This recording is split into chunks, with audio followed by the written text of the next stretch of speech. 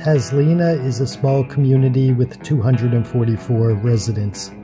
As I explained in previous videos, I try to stay away from homes when I'm making footage to be respectful to the people who live there.